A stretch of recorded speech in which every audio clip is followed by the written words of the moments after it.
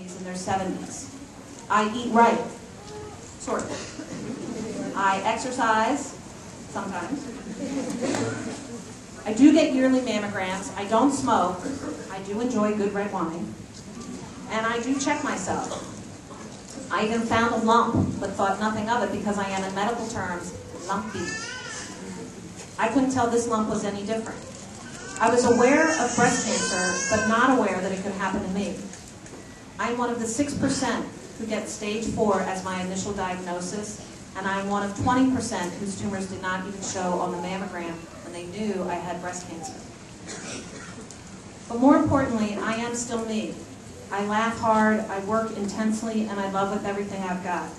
I fish in our pond, I cheer my kids on in their games, and I still unsuccessfully try to talk on the phone and cook at the same time. Classroom is still one of my all-time favorite places to be, get fired up about whatever we're talking about. But today, nearly 155,000 women in the U.S. are living with metastatic breast cancer, and 30% of those with early, breast, early stage breast cancer will go on to become metastatic. Metastatic, sorry. The median survival after metastatic breast cancer diagnosis is three years.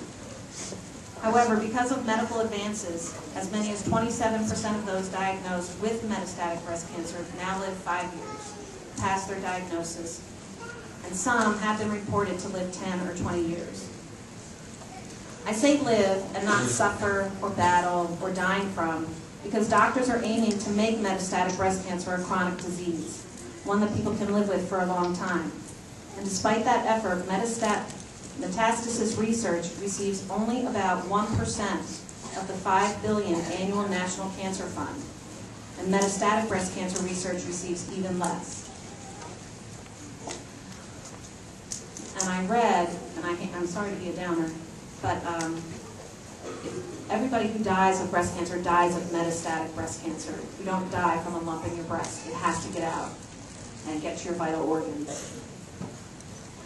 So I really appreciate the chance to tell my story. And I know it's hard to hear sometimes, but I think it needs to be heard.